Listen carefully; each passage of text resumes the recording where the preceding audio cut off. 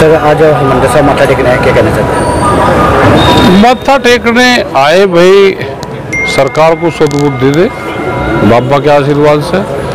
और ये है कि सरकारों को भी चिट्ठी लिख रहे, जो बाढ़ आई है, जो नुकसान हुआ है फ़सलों का, आगे इस तरह है कि त्रावती ना आए तो मंदिरों में, गुरुद्वारों में उसमें यही अरदास करते हैं कि ऊपरले वाला इन सब चीज़ों से दूर रखे। पचहत्तर साल हो गए आज़ादी के। किसान अभी भी अपने आप को गुलामी महसूस करते हैं उनकी आए दिन देखो आंदोलन करते रहेंगे संगठन मज़बूत रहेगा तो ज़िंदा रहेंगे। नहीं तो अगला प्रोग्राम सरकारों का ज़मीन पे है। ये ज़मीन में जाएगी।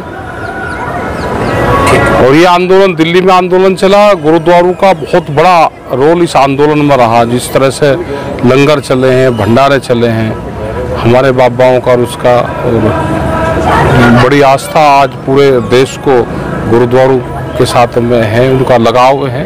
और लोग यहाँ पे आपने देखा होगा कि जथबंद जब आंदोलन चला जत्थेबंदियाँ हिंदुस्तान की कहीं की भी हो तो गुरुद्वारों के प्रति उनकी श्रद्धा बढ़ी है। सर मणिपुर की घटना को कैसे देखते हैं ये सरकारों की एक बड़ी साजिश है कि आपस में दो समुदाय लड़े।